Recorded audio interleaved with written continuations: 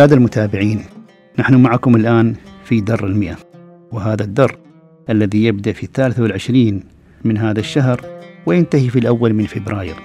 والحقيقة يمتاز هذا الدر بأنه باردا أيضا نوعا ما وفيه أمطار غزيرة حتى قيل أن المئة تخلي الدروب عميا كناية عن الأمطار الغزيرة التي غالبا ما تنزل على هذه المناطق وتحديدا على المناطق الجبلية. يمتاز در المئة بأنه أيضا بداية طلع والمقصود فيه بداية النبات اللي دائما ما أهالي المنطقة دائما ما يستبشرون بهذا الدر لنبات النخيل الخاصة بهم.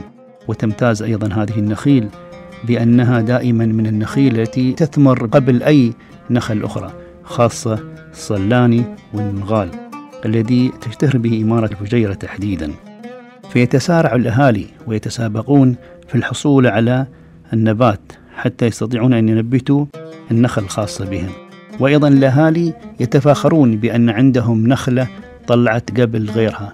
فحقيقة هذا الدر من الدرور الهامة جدا خاصة زي ما ذكرنا في أنواع النخيل.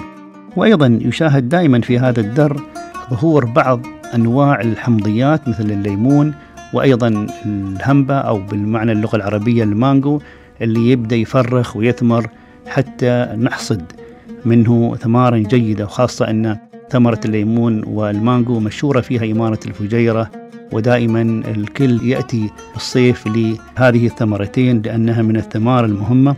ولا يخلو منزل حقيقة من هذه الثمرتين الليمون والمانجو تجدها دائما من المائدة الدائمة في موائد أهالي الفجيرة وأيضا الإماراتيين اللي دائما معروف عنهم بحبهم لهذه الثمرتين.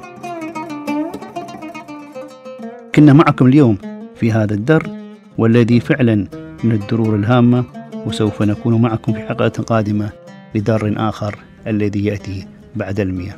والسلام عليكم ورحمة الله وبركاته.